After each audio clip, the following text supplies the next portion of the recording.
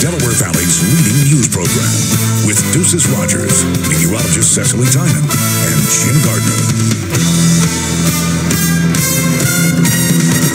Thursday night, Mass will be making a comeback in Philadelphia public schools, and Senator Pat Toomey delivers his farewell speech from the Senate floor.